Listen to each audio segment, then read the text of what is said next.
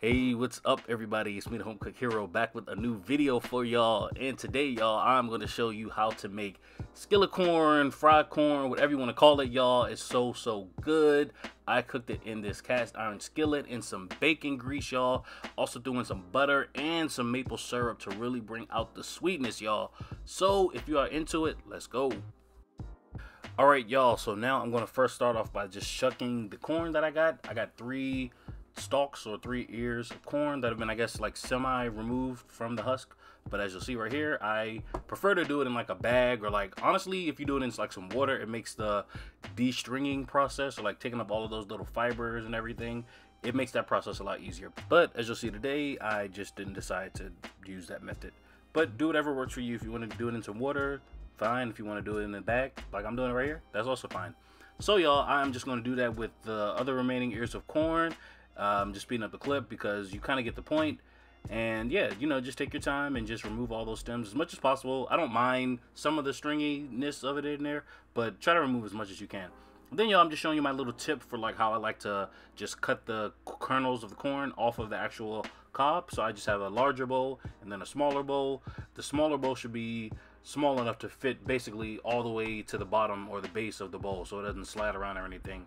And I'm using glass bowls just to show you all a little bit better, but do whatever, you know, do whatever kind of bowls you want to. But yeah, y'all, I'm just going to place the corn on that top bowl, the smaller bowl, and just, yeah, run my knife down. I want to try to get as close as possible to the actual, like, inside of the cob and you'll kind of feel it as you go down but you know when you do your first pass of the knife you'll you'll kind of get a sense of how far in you can go into the actual cob before you're not really cutting any kernels off you just stab in the stab in the center of it.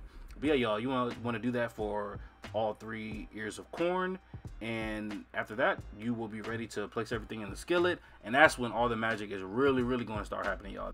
And y'all actually grew up near a farm that grew a whole lot of corn all the time, every summer, and so this this method of preparing corn definitely brings back a lot of those kind of like childhood memories from Maryland, and it's definitely one of my favorite ways to prepare corn, y'all. So after you finish all of that, I'm just going into my cast iron skillet that I had preheating on medium heat for like five minutes or so. Not really till it got to the point of smoking, but definitely make sure it's nice and hot. And then I went in with a little bit, about a half a teaspoon of some bacon fat that I had in my refrigerator. If you've seen any of my other videos where I use bacon fat or I cook some bacon, you always want to save that bacon fat because you can use it in so many other dishes and it will always, always, always elevate the flavors and give it just such a nice depth of like saltiness and just that smoky flavor from the bacon, y'all. Trust me on that. Trust me on that. So, y'all, I'm going in with all of the corn, just placing it into the pan. And I want to just basically put the corn on a nice even layer. Um, you don't want the corn to be all bunched up to one little area. You want to put it on a nice even layer so the bottom of it can really start to get nice and charred. So I'm just going to season it with a little bit of salt and a little bit of pepper. I really want the natural sweetness in the corn to really shine through in this dish. So I'm not going to over season it at all because you don't want to just put too many other competing flavors into the corn because you won't really be able to taste the corn. You're going to be able, you're just going to be tasting the garlic or whatever you put into it, and we don't want that. Not in this nice sweet corn. And yo, after it's been in the skillet for about a minute and a half to two minutes, you could definitely start to stir it around as you saw me just do just now.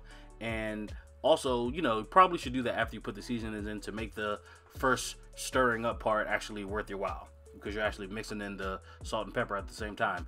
And then y'all, to really bring out that sweetness I was just talking about with that corn, I am going in with a little bit of maple syrup and also went in with about a tablespoon of butter, y'all.